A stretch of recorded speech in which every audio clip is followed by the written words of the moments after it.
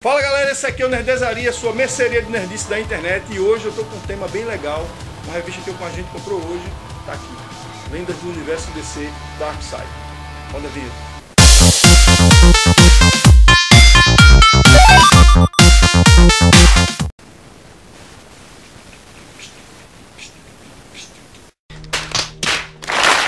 Bom pessoal, essa aqui tá fresquinha, saindo do forno, a revista Lendas do Universo DC Dark Side, que na verdade aqui comprime as seis edições da minissérie chamada Lendas.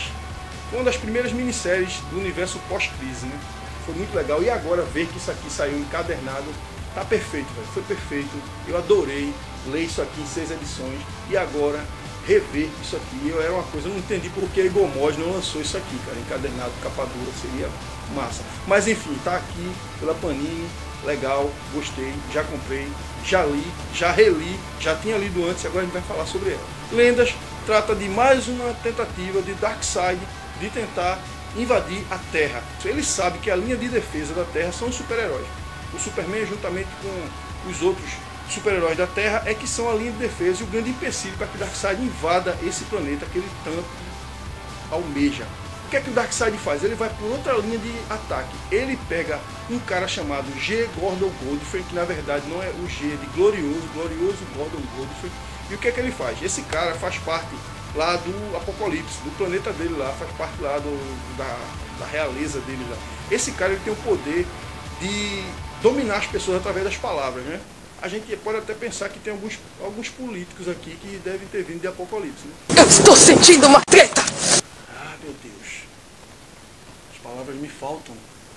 Ele tem esse poder e o Darkseid manda ele pra lá, manda lá disfarçado, como se fosse uma espécie de repórter.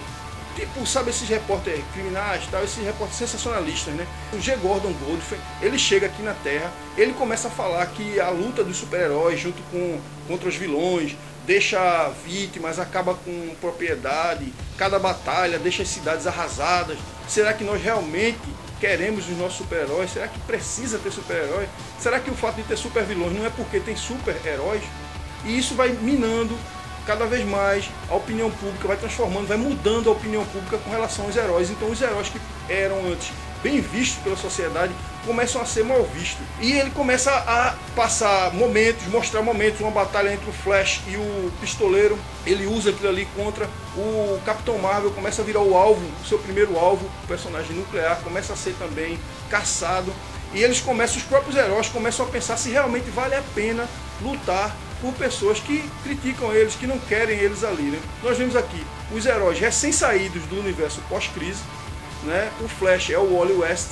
O Wally West foi atingido por uma rajada do anti-monitor durante a saga Crise das Infinitas Terras. Ele não está com seus plenos poderes, ele não está correndo acima da velocidade da luz, nem a velocidade da luz, ele mal chega a do som aqui. E ele cansa, ele cansa muito fácil. Então ele já está meio que querendo parar, ele não quer, apesar que depois tem outras aventuras onde ele retoma toda a sua super velocidade, mas aqui ele ainda está nessa, não está correndo tão rápido e ele acha que deve parar. O nuclear, ele está querendo ter uma vida normal, uma vez que o nuclear, junto com o professor Stein, eles se juntam, quando se concentram, eles conseguem unir a sua massa e formar o nuclear. O Ronald Raymond, junto com o professor Stein, eles juntam e formam o nuclear. O Ronald, ele começa a pensar que talvez não seja um momento bom para ele, que ele deveria se dedicar mais aos estudos e dedicar uma profissão, uma vez que ele está crescendo. E o professor Stein também acha que as atividades nucleares atrapalham suas pesquisas e o seu, a sua grande premissa né, nessa, nesse planeta como cientista, que é descobrir as coisas e não agir como super-herói.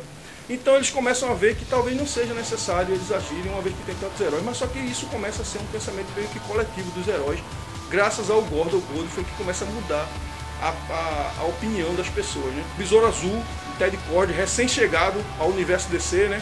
já tem, aquela, já tem aquele, aquela impressão de que talvez não seja a hora. O, aí o que é que eles fazem? Para acabar de ferrar com tudo, cara. O Darkseid, ele manda para a Terra um, um gigante que começa a destruir tudo na cidade. Me parece que é em Fawcett City, que é a cidade do Capitão Marvel. Macroman é o nome dele ele começa a destruir tudo. E o Capitão Marvel, para poder lutar contra ele, dá lá o Billy Batson, né, que é uma criança, ele chama o nome Shazam e ele vira o Capitão Marvel e tenta lutar com ele. Quando ele tá brigando com o Macroman, ele chama o nome Shazam de novo, para meio que o raio mágico atingir o Macroman, né? que o raio mágico não só o transforma, mas também queima o que está ao redor. Então quando ele bate nele, o Macroman pega fogo completamente. Então o que ele achou que seria só um impactozinho para fazer com que ele soltasse, na verdade, destrói completamente o vilão.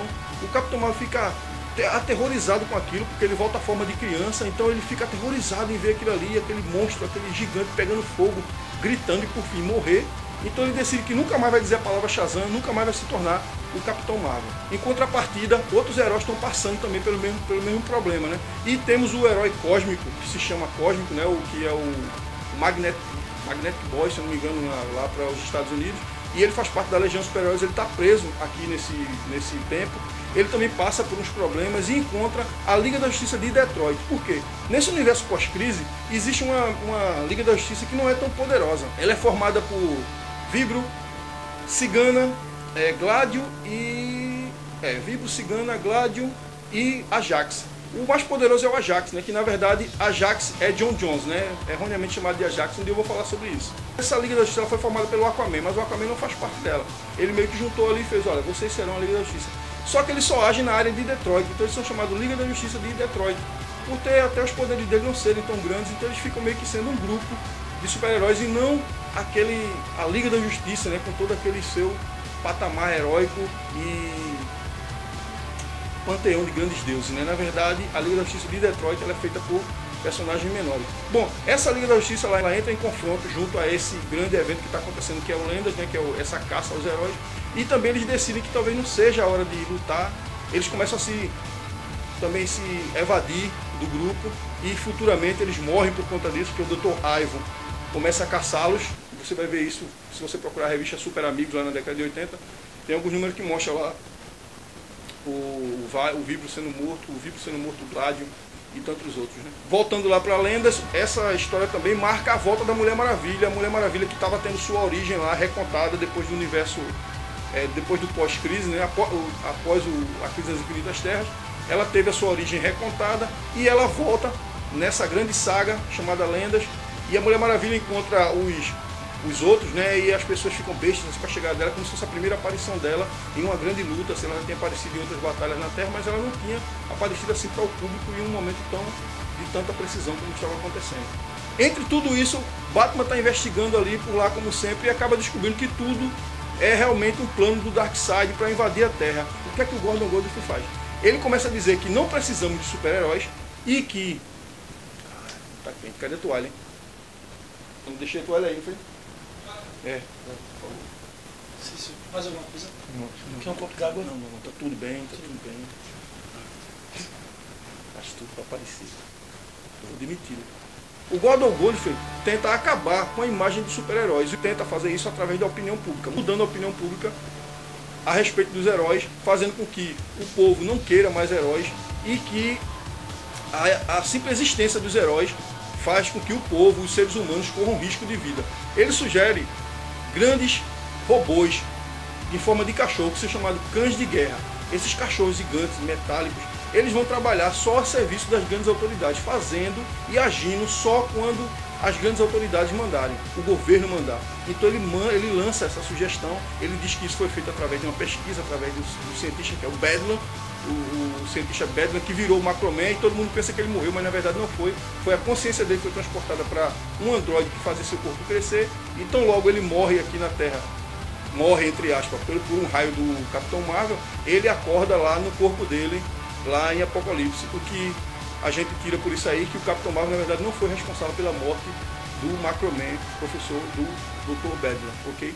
Isso já isenta, na história, já isenta o Capitão Marvel de ter matado alguém. Posteriormente ele descobre isso e volta a ser o Capitão Marvel. Quando ele se transforma no Capitão Marvel, a sabedoria de Salomão faz com que ele tenha esse lampejo aí e pá, ele saca o plano de Darkseid que o Batman já está investigando. Os cães de guerra, na verdade, eles são a frente de batalha na invasão, a frente de batalha do Apocalipse na invasão do planeta Terra. Quem criou os cães de guerra, na verdade, foi Desaad, o cientista mor lá de Apocalipse, e súdito e servo de Darkseid.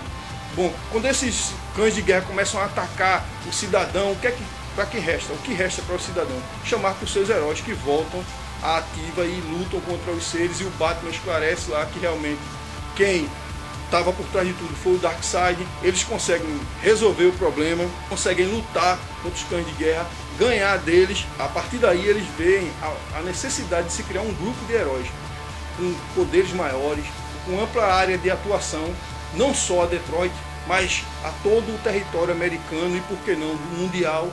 E aí o super-homem dá a ideia de se formar uma nova Liga da Justiça.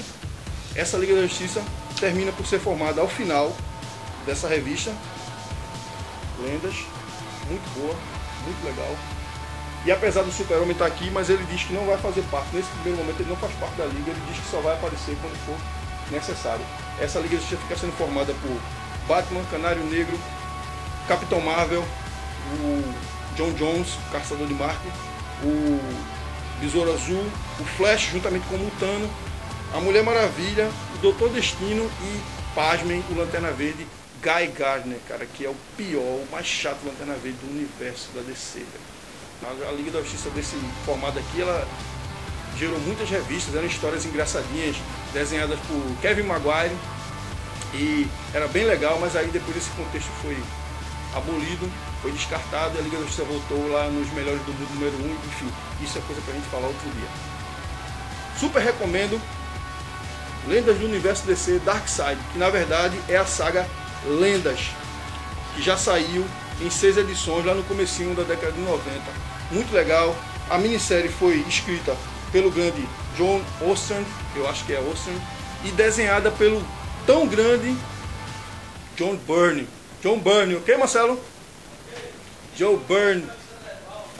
Como desenhou e escreveu a reformulação do Superman, que a Andresa já falou tão generosamente pra gente lá atrás, que foi a revista da Eagle Moss.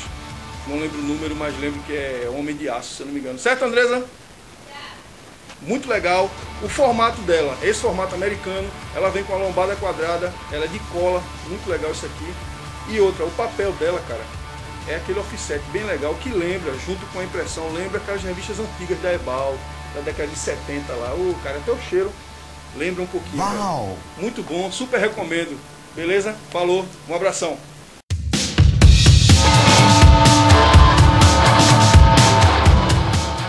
Fala galera, esse aqui é o Nerdezaria. Fala galera, esse aqui é o. Ah. Essa revista é minha. Ele tava fazendo. Eita, tá descarregando. Ah!